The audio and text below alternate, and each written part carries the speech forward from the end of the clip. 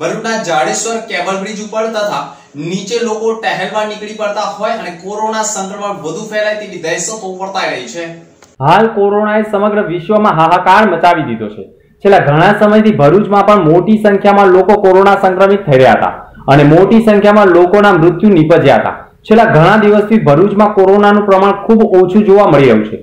દિવસ દરમિયાન ત્રીસથી ચાલીસ કોરોના પોઝિટિવ દર્દીઓ નોંધાયા છે. ત્યારે ચારથી પાંચ વ્યક્તિઓના મૃત્યુ થતા હોય છે. જેથી ભરૂચમાં કોરોના નહેવત થઈ રહ્યો છે. ભરૂચમાં ખૂબ જ ઓછા પ્રમાણમાં દેખાઈ રહ્યો છે. હાલ કોરોનાની ત્રીજી લહેરની શરૂઆત તૈયારીઓ થઈ રહી છે. ત્યારે આવી પરિસ્થિતિમાં લોકો મોટી સંખ્યામાં એકત્ર ન થાય અને માસ્ક, સોશિયલ ડિસ્ટન્સ ફરજિયાતપણે રાખે તેવી અપીલ સરકાર દ્વારા કરવામાં આવી રહી છે.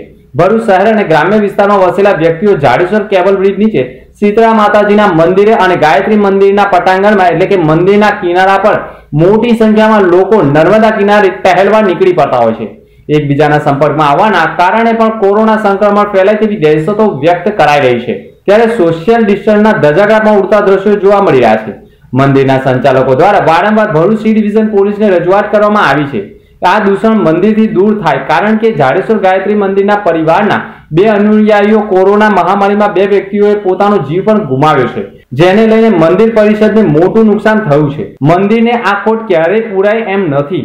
ત્યારે ખરેખર સરકારની કોરોના અંગેની ગાઈડલાઈનનું પાલન થાય અને મંદિરના કાંઠે લોકોના મેળાવડા ન જામે તે માટે સી ડિવિઝન દ્વારા પોલીસ કાફલો મૂકવામાં આવે તે પણ જરૂરી છે.